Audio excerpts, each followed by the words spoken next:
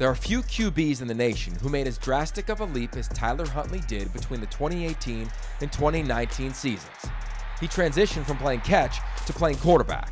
Completing 75% of his passes on third down last year proves to be a great example of how this young man is able to process a defense, his offensive plan, and make plays with incredible anticipation. Likely an undrafted free agent, I do think that Tyler Huntley will get a shot to compete for the number three spot on a roster at the quarterback position. He rarely makes the wrong read, won't turn it over, and while his arm may not have elite talent, he proved in college that he can drive the ball downfield.